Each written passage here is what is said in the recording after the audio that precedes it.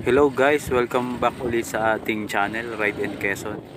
So yung, ngayon nga ay ah, ipapasyal ko kayo dito sa ah, isa sa mga dinadayo ditong beach resort dito sa aming bayan, bayan ng Agdangan.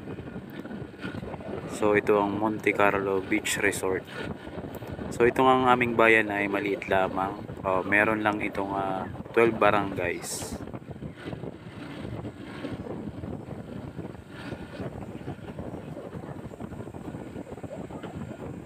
So, ang Agdangan nga guys ay dating bahagi lamang ng ah, bayan ng Unisan.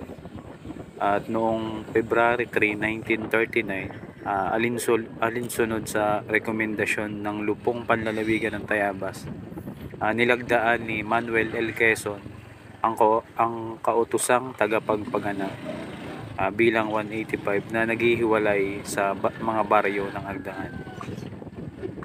Ah, at mula nga noon ay naging ah, magkahiwalay ang bayan ng Unisan at Tagdangan. O simula din nung taon na yun. So napakadami nga guys dito ng ah, mga beach resort. So halos ah, magkakadikit lang yung mga beach resort dito. So pupuntahan natin lahat yan para maipakita ako sa inyo. So dito muna ako pumunta sa Monte Carlo. So ang mga ang pangunahing ikinabubuhay nga dito sa amin ay ang panghingisda, pagsasaka. So mayaman nga ang aming bayan sa ah, mga nyog at saka mga palay at saka mga isda. So yun yung mga pangunahing kinabubuhay dito ng mga taga dito sa amin. So sa pagmumotor nga guys ay isa sa nakakatakot ang mga aso. So bigla na lang natawid. Kaya kagaya niyan. Pek! Ayan, muntik na nga ako dyan guys. Masemplang. So buti nakapagpreno agad ako. So yan guys, malapit na nga tayo sa Monte Carlo. So yan, nakikita na natin ang dagat. So dito nga guys ay ah, magkakasunod na yung mga ano, beach resort. So yan, nap- napakalapit nga lang nito sa ah, mismong bayan ng Agdangan. So yan, sunod-sunod na yung mga beach resort dyan. So inuna ko nga lang ah, puntahan yung ah, Monte Carlo para maipakita ko agad sa inyo yung magagandang ano, tanawin dito. So dito nga guys ay ano, white sand na. So yan, so yan guys, may beach resort din dyan. Ayan. So pupuntahan natin yung susunod yun. Assessor yata yan. So yan pa, La Cereza. So katabi nga lang ito ng Monte Carlo. So yan na yung Monte Carlo guys. So yan, dyan tayo pupunta ngayon. So napakaganda nga dito guys. So yan, magpapark muna ako. Hello guys, welcome to Ride and Quezon. So ito yung ating ah, ano, episode 2 ng summer vlog. So nandito nga tayo ngayon sa Monte Carlo Beach Resort. So ayan. So ang gamit ko nga pala ngayong motor ay itong ah, Motor Star. So ayan guys, nandito nga tayo ngayon sa Monte Carlo Beach Resort. So isa nga din ito sa mga dinadayo dito sa bayan ng Agdangan. So napakaganda nga rin dito. So ayan.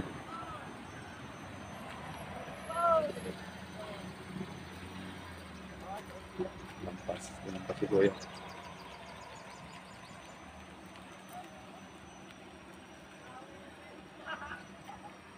Ayun, napalampas si Kuya. So, ito nga pala ang gamit kong motor ngayon. Ayan, Star X175. So, papasok ako sa loob para mag sabi na magpa-vlog ako. So, napakaganda nga ng buhangin dito. White sand. Ayan guys.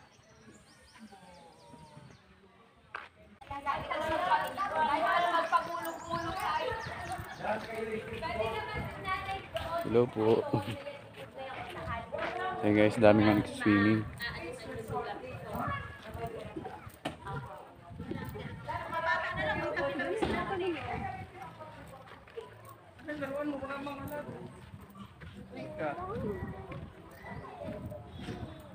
Huh?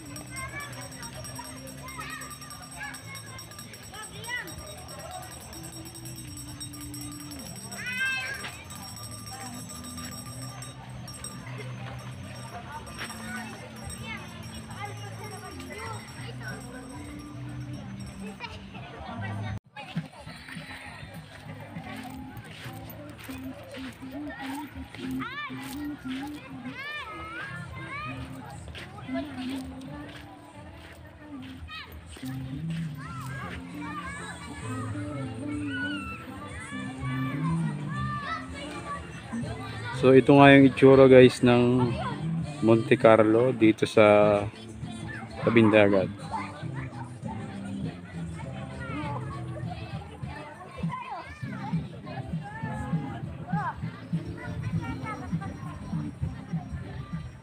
So yan, napakaganda nga ng buhangin dito, white sand. Yan, kita nyo naman. So busy pa yung may-ari, hindi ko pa siya may interview kung magkano ba yung entrance dito at saka cottage. So mamaya babalikan ko siya. Guys. Jakarta.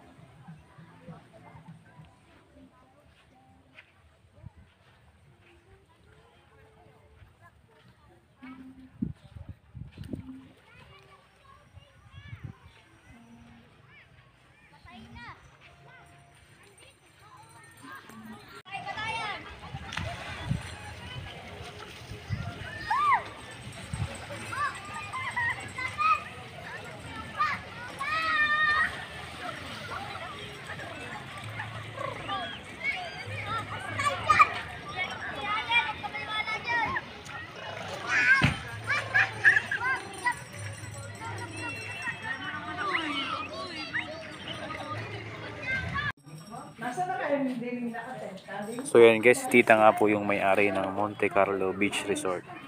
So sa mga gusto pong magpabook, pwede po kayong mag-message sa kanilang Facebook page. So ang pangalan po nito ay Monte Carlo Beach Resort. So yan, pwede po kayong mag-message at tumawag. So si Tita Lul nga po yung may-ari. Tita, thank you po. Dito po muna ako. Magbibideo-video muna po.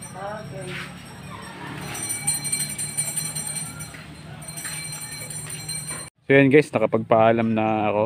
So ayan, napakalawak nga din ng kanilang ano, parking area. So ayan. Yan, so white sand nga din dito sa ano, parking area nila.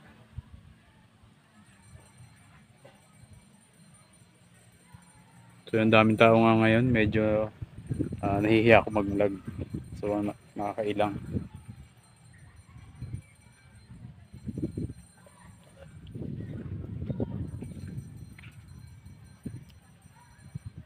So ang entrance nga daw pala dito ay 100 pesos per head. Tapos yung ah, sa cottage naman, yung yung ganun, yung ganung klase is 1.5. Tapos yung umbrella, yun yung parang ano lang, mga magtropa is 500 lang daw. Kaya napakamura nga din dito guys. Kaya napakaganda. Kaya ang daming tao.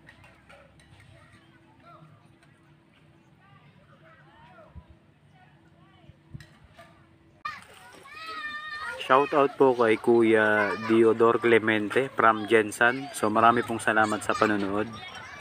Ah, shoutout din po sa mga batang nagpa-picture sa akin. At sa lahat po ng agnanganin. Yan po. Sana po ay mapanood nyo itong vlog ko at supportahan po ang aking YouTube channel.